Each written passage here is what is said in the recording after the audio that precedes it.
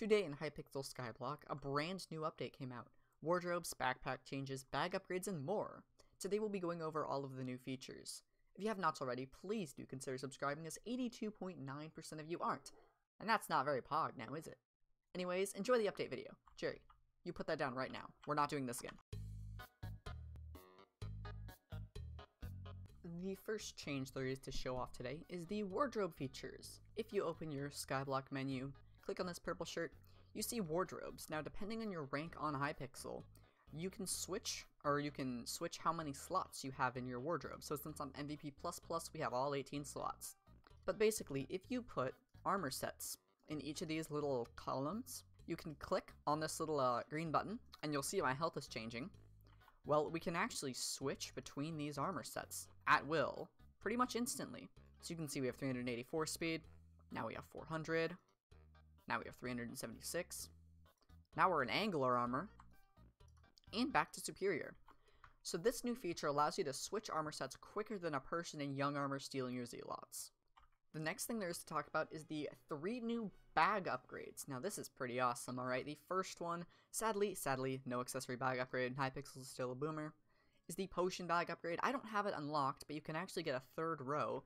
I believe this is unlocked in the Netherwart collection right around here. Large potion bag upgrade. Massive potion bag upgrade. So that's a pretty nice one. The next one is the fishing bag and you're actually able to put um, some more stuff in here. Lily pads is one of them, and there's a couple more, so try to put some more things in your fishing bag, but this one's upgraded through the fish. That's farming. The fish one, you can see massive fishing bag upgrade, giant, large, medium, all that stuff. It's pretty great. And finally, the quiver. Look at this. You can tell that it, it got an upgrade because my quiver's bigger, and that one's in string. So you can see right here, giant quiver bag upgrade. And yeah, the next change to talk about, this one's awesome. Check this out. Go to a backpack that's somewhere where it's not usually, and right click it, and it opens the backpack. So you can do this in any menu, and it works just fine. We're actually going to grab the soup ad to show you something here in a little bit. The final quality of life change comes on your private island using mushroom soup. Uh, kind of a bummer that this didn't happen yesterday because I wasted so many soups, but you can't waste soup anymore. If I check, uh, check this out, if I leave my island, and come back, our soup still stays.